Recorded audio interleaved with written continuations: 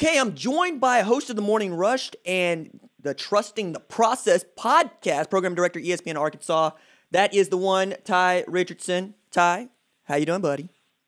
RJ, I'm great, man. I know we've talked over the phone uh, since you got the job with Fox Sports, but man, I just want to congratulate you I, again. I, I watched the video of you telling all your subscribers now up to over sixty-seven thousand. It's freaking awesome, man!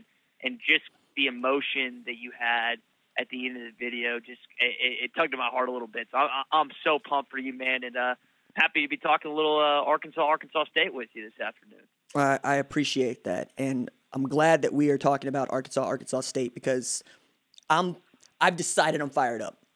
I've decided I'm fired up about this game. I'm fired up about this game because I know the history of Arkansas scheduling and Arkansas scheduling in state. And I think that you know, some of this is interesting because one of the things that I have been cautioned about was hey, look, you're a national guy now, so you don't have to give everybody your attention. You don't have to talk to everybody. Everybody's trying to use you to get something or get over on somebody else, to use a, a wrestling term. And that is how Arkansas traditionally has viewed scheduling, not just Arkansas State, but anybody else in the state of Arkansas. Now, I want to get your thoughts on this because you, now you know where I stand and you know why I believe what I believe. And we can keep unpacking this, but like when I reached out to you, you weren't necessarily a fan of it. Why weren't you a fan of it? RJ, what I always point to when it comes to Razorback football and hmm. the Arkansas athletics department. Now, I'm not adamantly against. I'm not going to continue to moan, scream, and yell at Hunter Yurachek, the athletics director at the University of Arkansas.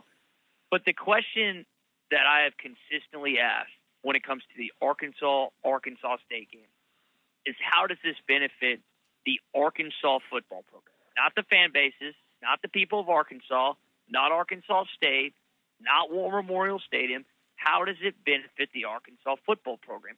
And to me, RJ, and again, this is a subjective, this is not an objective opinion. There's a lot of people that disagree with me, which is fine.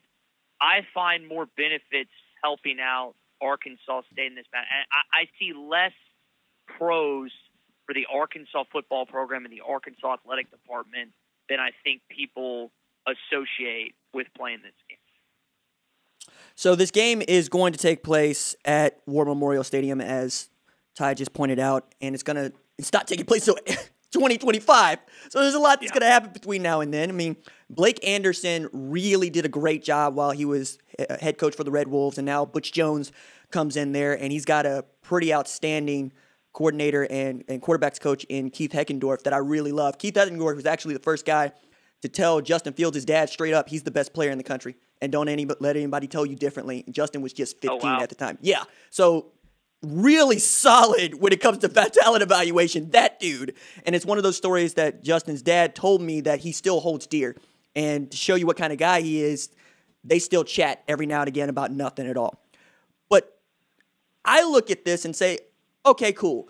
Arkansas is going to give some shine to Arkansas State. Okay? UA, A State. I get it. It's like Oklahoma and Oklahoma State. Does Oklahoma lose anything from that game? No, it's been lopsided forever. Like, what I think is remarkable about Arkansas, Arkansas State is that Arkansas State's been playing football since 1911, right? Mm-hmm. And Arkansas's been playing football, correct me if I'm wrong, 1894. Correct. Okay. They never played? Like, that's crazy to me. And and Not with one time. Yeah, well, but Arkansas and Oklahoma are not that dissimilar right? They're the pro team. O- OU is the pro team. And yet, yeah. it didn't ever make any sense for first John Barnhill, right? And I think 1946, and then later Coach Broyles, specifically when he became athletic director. I'm not doing it because I don't feel like we got enough money to share with anybody else. And I'm going, well, you got you have Arkansas, you have Arkansas State, you have Central uh, Central Arkansas, you have Arkansas Tech. I mean, we can keep going here. So, like, why, why do you think that not being a good big brother is beneficial to Arkansas? First off, I remember us having the conversation off air last oh, yeah, time yeah, about 100%. kind of the Oklahoma State Oklahoma connection, and, and I would equate Arkansas State more to a Tulsa because Oklahoma State's played in the same conference, Big 12, Big 8. They've been while not on the same level nationally as Oklahoma, they still are on the same level competitively in that area. And I know Oklahoma has just beaten their brains out for however many decades. I don't know what I, the, this series history is lopsided. I I couldn't tell you it off the top of my head, but Arkansas State was at one point a I think Division two football program. Right. Been in the Sun Belt for a while, so to me, I think the better comparison, RJ, is, is Tulsa, Oklahoma. But to your point about John Barnhill and Frank Broyles, Broyles always said that he didn't want people to give Arkansans a reason to cheer against Arkansas, Mm. and that's why they didn't play in-state schools, not just Arkansas, but other in-state schools, unless they met in postseason competition. Well, this game, as in some of the other games, not just this game, that um, Hunter Yurachek allowed this past season for baseball and other sports to open up, just not football. This game now allows fans to be on one side within the state of Arkansas, Mhm. which you can argue is good, can be bad, it's fun, competitive and stuff. And from a financial standpoint, it keeps the money in state. I get that, but I think the whole Frank Broyles and you mentioned John Barnhill as well. They just they never wanted to see this come to fruition, and I think th- this is this is something that will be debated not just leading up to the game in 2025, but years after to see if it does have an effect. Because Arkansas baseball got beat pretty handily by Euler, Arkansas Little Rock this past season. It or two, yeah, this past season it didn't affect, and it was two years ago. Excuse me, it didn't affect them. That team ended up going to the College World Series, but the baseball program is far and away past where the football program is right now. I don't know if it's going to be a massive negative impact on Arkansas, but we'll just have to wait and see. I, I, I think there are some good reasons that this game wasn't played for a number of different years travel, um, variety of other things. But it, it's just going to have to be a wait and see for me, RJ. So who stands to actually, uh, you know, benefit from Arkansas playing Texas? It's a good question. Uh, so Arkansas fans, RJ, have this uh, inferiority complex when it comes to Texas. They hate that school, not not necessarily the state. Now, there's, I want to say, sixty percent of Arkansas students are from the state of Texas. It seems like all my friends either live in Dallas or from the Dallas area. It's wild how many Razorback alums make their way to Dallas, Texas, and so you have a lot of mixing and matching on campus, and that translates to people staying in Arkansas, saying it's, it's a beautiful state, it's a beautiful uh, place to grow up, and I've really enjoyed being here for quite some time.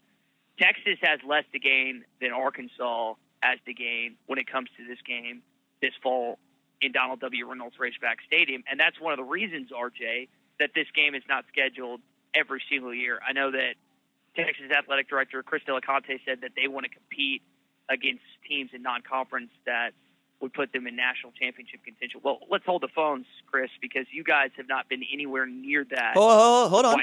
Hold on. Hold on. His point is valid, though. They've been closer than Arkansas.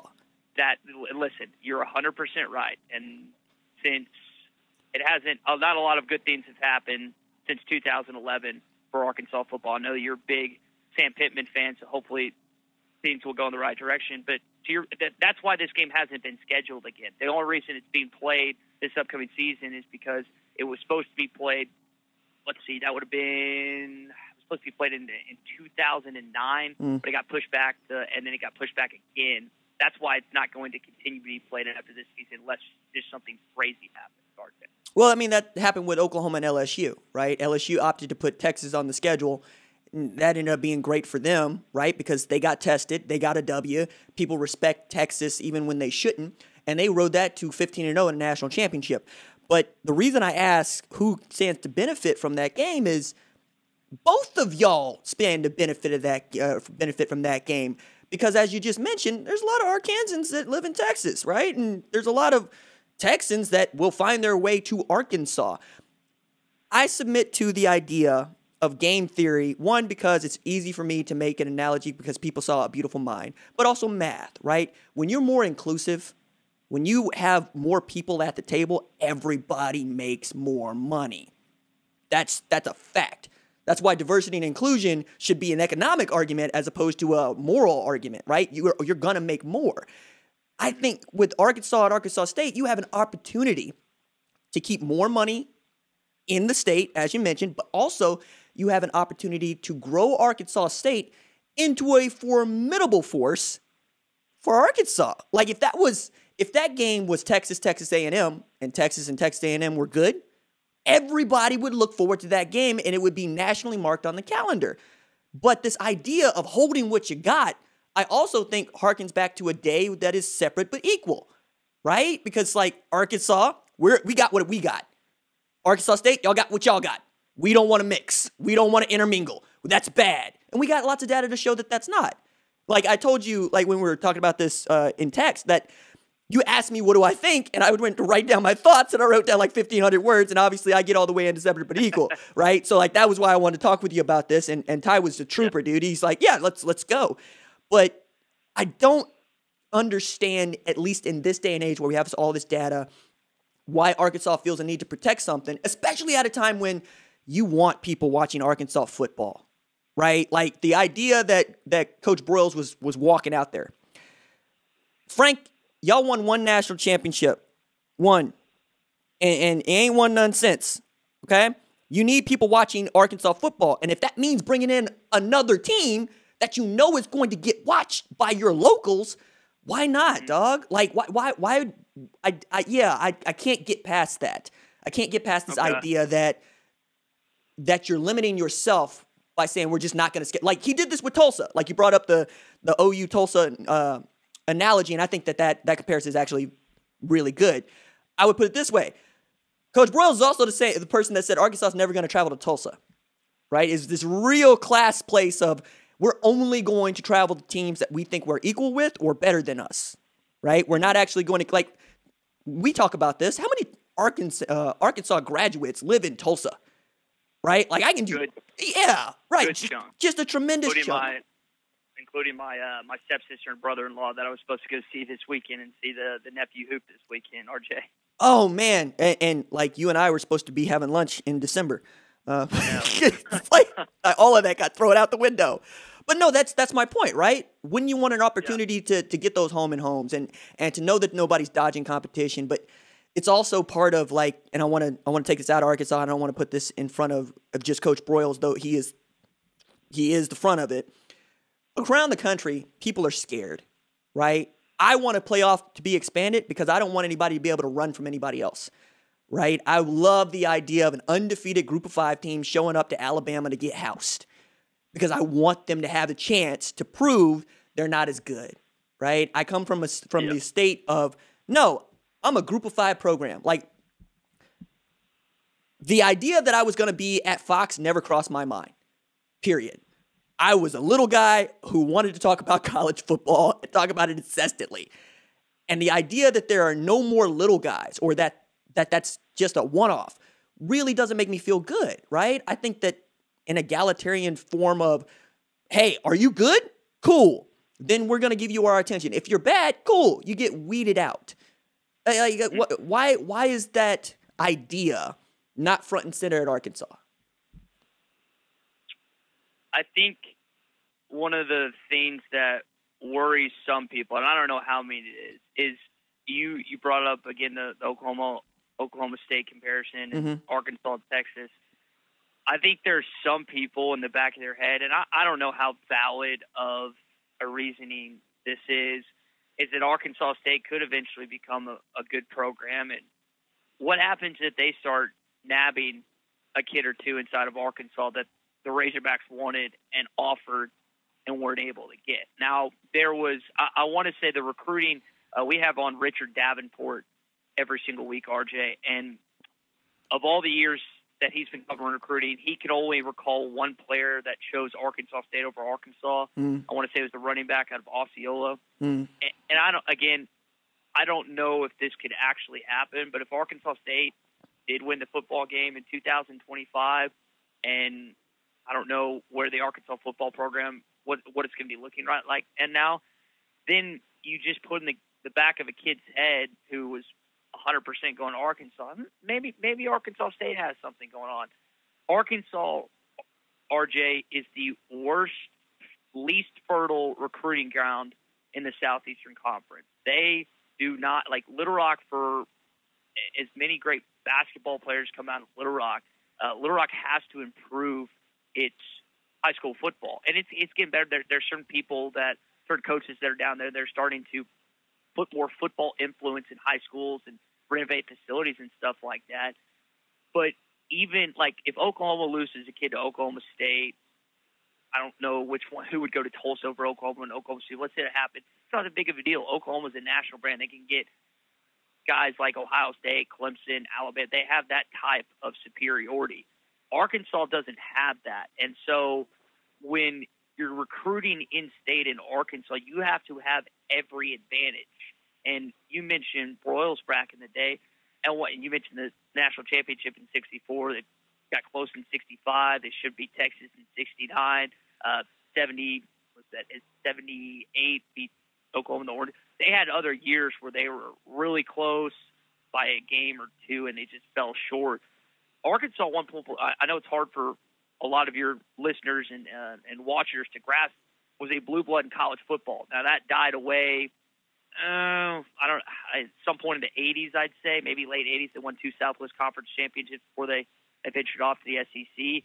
And that m- mentality, that mindset, used to be okay because Arkansas could say that they were in the same breath as as a Texas or USC or some of the other blue bloods that we know today. Even though those two individually have been where they were, I don't necessarily, I, I can't rip Broyles for that because even Ken Hatfield said that, what does Arkansas have to Lake, or not, not the Lake geez, Ken Hatfield is very much still alive. uh, we we had him on the show a couple months ago. Um, he he was said Arkansas just doesn't, and, and that's where I, I, I come to. And you mentioned the that everyone benefits. Arkansas State and the state and the fans and more, a lot of them benefit. I just can't I can't picture and fathom this Arkansas football program and athletics is benefiting a lot by playing Arkansas State. Hey, man, I've been wrong before. Maybe it goes good for Arkansas. It's big and it helps this football program. It helps high school football. I just don't see it, man. And and again, I'm not going to rip Hunter Yurachek for making this decision. He's made a lot of great decisions in his early short tenure as the AD in Arkansas. That's just kind of where I am right now. Well, and I, I I get not wanting to lose market share. I understand that argument at the highest level. To the to the idea that you're going to lose recruits to Arkansas State, I would I would say Arkansas State needs to prove that they're good first, and beating a good Arkansas is not the same as beating a mediocre Arkansas. And I use mediocre in a positive sense for once, as opposed to being bad, because last year they were they I'd say they were pushing to good. They ended up mediocre, right? I mean that Auburn game goes differently we're probably talking about that season a little bit differently, but you mentioned about four other instances where if they get a game, we're talking about them being national champs versus just having a really great season. So I want to make that distinction. I also want to just drive home this idea that Arkansas is still the flagship program in in the state, which means they're getting the most money from Correct. the state, right? Not to, to say nothing of what the Waltons do with their money right? Like that's you're always going to be able to to outspend in a state. But I also think that you're you're getting to a point to where you're going to you're going to push people away if, if you don't start inviting them in. And I think Hunter Yurachek saw that. And the reason I say that, year after next, Central Arkansas is a Sun Belt team. Okay? That means you got two FBS good football teams in your state. And my favorite part of this, the Sun Belt might be the sixth or even fifth best conference in the country, depending on who you want to talk to at any given time, right? So Central Arkansas is also going to be there. If yeah. in the same way that Oklahoma State and Tulsa are there for Oklahoma, but Oklahoma was trash in the 90s. Well, I say 93 to basically 99, right? Just awful. Tulsa could come in there, do something, right? Uh, Oklahoma State could come in there, do something. And yet, you bounce back because you're the flagship university. I just, I, I, yeah, I, I hope that more Arkansas fans come around to the idea of no, no, no, we want to be on the good side of this history when these teams do pop up and become pretty good. Because I, yeah. I like the Red Wolves. I, I, I, like the Bears. I like what they're about. I like the Wonder Boys. Hell, like look at me. I'm I'm a natural Arkansas fan. Um, it's a, yeah. Oh man, it, it, I, I want to say something real. Please, please. Um, with Hunter Yurachek, I think we need to talk about his background a little bit. Coastal Carolina, Houston, two of the smaller schools inside of Carolina, and then Texas. And he has that background of being a uh, group of five AD, which is what Terry Mohajir was, mm. is now at UCF right. before taking that job. Danny White. And so, and yeah, so he, ha- he has that in his background, which I think is important when it came to this discussion and how it trans- and how it transpired, RJ. No, and that's a very good point, and I'm glad you raised it. And and I like again, I say that there are more group of five people than there are power five people. We all pick power five teams because they're on television or we were raised in those houses, right?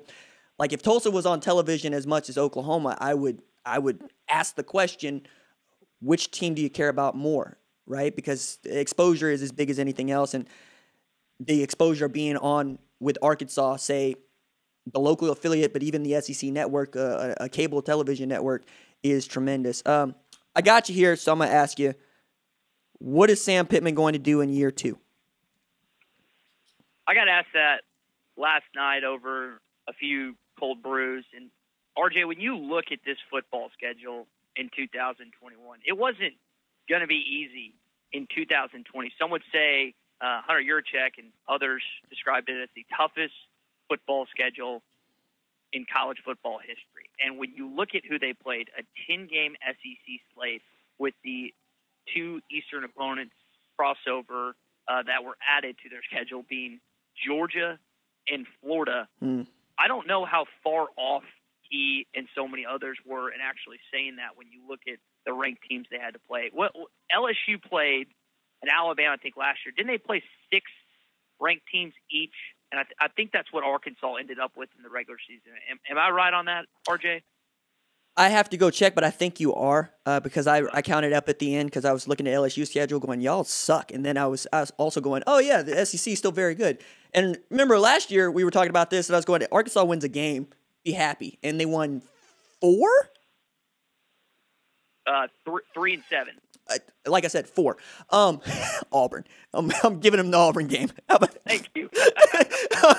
so no, but like you're, you're onto it, right? Like the crossover matchup really sucked. So much so that little birdie told me there was an Arkansas coach that uh, wasn't very happy about the new SEC schedule when it popped up.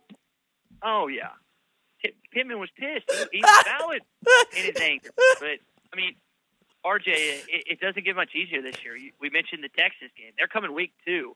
I don't know how geared up Sark's going to be. I, I know we got to see it. You know the quarterback that we'll see in 2021 for the law. We watched a little bit.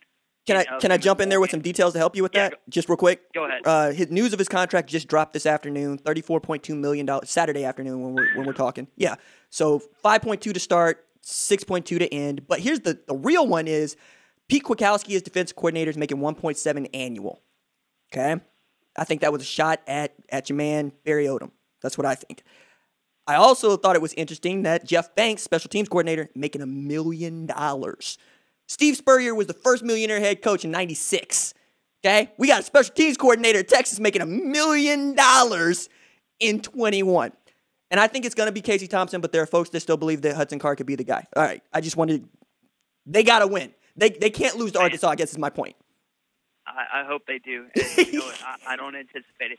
By the way, since you're on the the subject of guys getting paid, can you, and this is it's got some Arkansas ties. Can sure. you tell me the first uh, coordinator, million dollar coordinator in college football? The answer might surprise you a little bit. First million dollar coordinator in college football. Million dollar coordinator. No, go, go ahead. Tell me. Mr. Chad Morris at Clemson. I was You know that shocked. makes no that makes all the sense in the world though that now that you said it because I know I remember at the time they were doing something and Dabo said rather than give me a raise, defer my raise and pay my assistants because that's how I'm going to keep them here. Okay. Like, I knew that I knew that half of it, but I didn't know that Chad Morris was the first millionaire coordinator. Like, like what? Yeah, you you guys are so. oh, you guys got the worst version of Chad Morris. Uh, and we had, you know, it's funny. It's funny, and I, I, I will come back to the schedule real quick. But real, I remember having a conversation with Tajh Boyd. Got connected with him, and loved loved watching Tajh in college. He was my favorite quarterback to play on NCAA football back in the day. and he was so bought in that Chad Morris was going to change this football program. Had me believe in, had our listeners believe in, and it just didn't happen. So that that to me, I don't want to get too much on the rabbit trail, but I just I, I can harken back to that conversation. But RJ on the on the subject of this season, Texas week two, Mm. you got to play Georgia again, and we'll see what happens with JT Daniels. That one's in Athens. Yeah, that one's in Yeah, Athens. uh, That's not, and Arkansas, uh, they they held their own for 38 minutes in this past season, but uh, watch out for Kirby Smart's team. Uh, first weekend of October, that's going to be quite fun. George Pickens could be one of the best, one of the best wide receivers. I say I say one of the best because he's not better than Treylon Burks, and I think I hope you think that too. But it, it's not like going to Ole Miss after what you did to him last year. Lane Kiffin's going to have his boys fired up. You get you go to LSU, you go to Alabama. I would think that LSU. I, I mean, they're not going to have the season they had two seasons ago, but they're definitely going to bounce back from last year. Plus, you can't ever find a way to beat that terrible school in College Station, Texas. No matter the talent differential and disparity, it always seems to be a close game, except uh, this past season and the, the Trevor Knight game where he just went off in the fourth quarter. So it's not going to be easy for Arkansas. And to be honest, this is a statement that I hate saying. They're going to be lucky to make a bowl game. They are going to be lucky to. I think they win those three non-conference games relatively easily. I think they're going to lose a close game to Texas. But RJ, when you look at that football schedule, it, it's not easy to find three SEC wins. It, it's going to be a tough road for Sam Pittman in year two. I think there's a lot. The ceiling for this team is higher than a lot of people think based on the talent they have coming back and the experience. But just the schedule. I mean, it's the SEC, man, plus Texas. That ain't easy for anybody. Well, I'm looking at the schedule, right? And that Georgia Southern game, I think, is going to be way tougher than than Arkansas fans even realize. And that's because I, I think that Georgia Southern is one of the four best teams in that conference, the Sun Belt, right? Uh, and Arkansas State's going to be a little bit down, but not a whole lot down. Uh, I think losing Jonathan Adams is really big there, but that's Arkansas State. All right, so I'm looking at schedule at Georgia. You're at Ole Miss. They're going to be decent to good. Auburn is a win. Year one, they'll be talented, but year two, especially after what Barry Odom proved you could do, putting Dwan Mathis on the bench, right, uh, in that first game. Mississippi State is a game you can win. UAB is a game. Uh, UAPB is a game you can win. I mean, LSU, yeah, okay, they may have more talent than you, but they're also going to be having. They're going to have two first-year coordinators. Alabama, sorry about that, that's a loss. Uh, Missouri, you ought to be able to win that game. That's a game you're in. They they lost their defense coordinator. They're adding Ryan Walters, who I really enjoy. I think is going to be good. Uh, or excuse me, Ryan Walters went to Illinois. Steve Wilks is at Missouri now. Uh, another man I think is good. Probably never coaches the NFL ever again. So I I could see five wins in there. Yeah, getting the bowl eligibility, you're going to have to get lucky. Uh, But uh, as you pointed out, Those academics up, buddy. That's what they needed. man, look, like as you pointed, A and M could win ten games. Georgia, I have in the national championship against Oklahoma. Uh, Ole Oh, Miss- wow. oh yeah, no, I. The the running joke in our circles of college football is, of course, you pick Georgia every year, and of course they let you down every year because they lose to South Carolina or whomever, right, to put themselves out of the SEC championship game or mm-hmm. they're just not as good as an LSU or an Alabama in a year where they're fully loaded for bear. This is the window for for Georgia for me. Just this is the window for Oklahoma for me. But Ole Miss is gonna they're gonna move the football. Like the the part about that that sucks is if Jeff Lebby got that job and not Gus Malzahn, I would feel way better about Arkansas in that game against Ole Miss. But because that offense is so good at moving the football, I mean, you put up 647 yards and 47 points on Alabama in a year where they go 13 and 0. Yeah, you're, you're going to be pretty good. So I, I hear you, but I also think this is this is uh, food for thought down the line. Arkansas could do with the addition of two more teams or the reduction of two more teams from that conference. I don't think that Arkansas wants to go anywhere. I don't want to say that because I, I don't think that's true. And I don't think that anybody wants to kick Arkansas out. I don't think that's true. I do think that that West is loaded and the East is too loaded, right? It's loaded enough where Georgia, Florida, Missouri in some years, right? South Carolina in some years are going to give you a headache. But like, find me another conference where you can bet on 10 of the 14 teams being a bowl eligible, right? It's hard. and, and one of those isn't Arkansas, wait a second. All right. So that's why I asked what's Sam Pittman going to do in year two, but also who's the quarterback, man? Is it Malik? Is it KJ? Because like if the if the offense clicks and Burks proves to be that dude that you think he is, I mean, we know that Odom's got the defense to do it. Mm-hmm.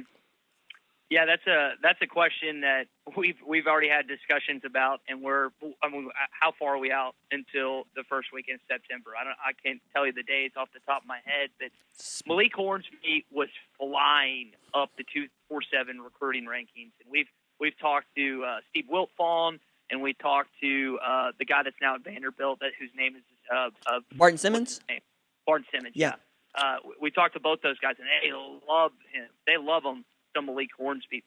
I think, I mean, Malik, you talk to players in practice, and he can just scoot, man. He's got the wheels. Now, Briles said his head was spinning a little bit with all they were adding to his brain, just getting him ready. You look at what KJ did against Missouri. Missouri had a pretty good defense this past year, right? And KJ put up 48, if I remember that right. And I know they were prepare, preparing for Feleipe up to game time, and then all of a sudden we get the announcement, oh, Feleipe was going through warm-ups as gamemanship because he hasn't he can't throw the football. So you're going to be getting playing KJ Jefferson. And to his credit, KJ was really, really good in this game. That's the best the offense looked. But I think this competition, RJ, is going to be more unpredictable than people think. I think the majority of fans, if you ask an Arkansas fan right now, they would tell you KJ Jefferson is going to be our starting quarterback. You got to remember, Kendall Briles has been recruiting Malik Hornsby since he was a freshman in high school. He has known about this kid for quite some time. And Arkansas, Mike, and think about this. This is just so refreshing to me. Arkansas hasn't had a dual threat quarterback, like a true dual threat guy, since Matt Jones. Now, one of their starters, whoever is, and it's it's Malik and KJ. Unless there's an injury, it's Malik and KJ. They're both dual threat guys, and that is just so. And I don't like Feleipe could run last year, but he wasn't a wheels dude, and he he made some really good read option plays and tucked it and made some right uh, reads there. But I, I'm just excited for the explosion I think we're going to see from this Arkansas offense in year two with the full spring practice, with these drills that they get getting to actually work with the quarterbacks on the field. This is going to be a fun football team offensively to watch in 2021. And I, I can't give you a solid answer on who's the quarterback going to be. If I had to lean one way, I'd probably say KJ, but I'm not one of those guys that assume KJ is going to be the starter since day one. It, it's just kind of a wait and see for me, RJ. That is Ty Richardson, program director at ESPN Arkansas, host of the Morning Rust and Trust Process podcast. Give him a follow on the Twitters. I'm going to link him in the description below. I'm also going to link to ESPN Arkansas in the description below where you can find this man because if it if you need to know about Arkansas at any point in time, football, basketball, baseball, Ty is the man. I'm just the dude that consumes Arkansas football and I got, you know, a real soft spot for Sam Pittman. One day I'm going to get out to that lakefront property. I'm going to see what's really good. But hey, Ty, I asked you for 15 minutes. You gave me like 34. You're awesome, man. I love you. I, and that's probably just a byproduct of me talking too much. And I appreciate the kind words, buddy. It's funny to me how whenever I'm going through message boards, Arkansas with its Hogville, Hog Beat, Hog Sports, Whole Hog Sports, the different uh, Arkansas conversation pools that we have – anytime my boy RJ makes a video about Arkansas, you just have all these people come in. Look at our boy RJ. Look how much he loves it. Like all all this stuff because there's not a lot of national people, and you're very much so a national commentator for Fox Sports now, which is again freaking awesome, man. That give Arkansas love. Now, now they do it in baseball. They they they've been doing it in basketball because of us and the seven game SEC winning streak. Football team hasn't really gotten any, and so for you to be able to do that and being so close in Tulsa where you are. A lot of Arkansas fans are really appreciative of you, man. And the videos, guys, I, I know all you watching. Some of you are just watching because I'm on it now. The majority of you are watching RJ's videos. If you like college football, this is the place to be. Plus, he's funny too. So I, I'd encourage all of you that aren't subscribed. You, you got to subscribe to this dude. Thanks, buddy. I appreciate you.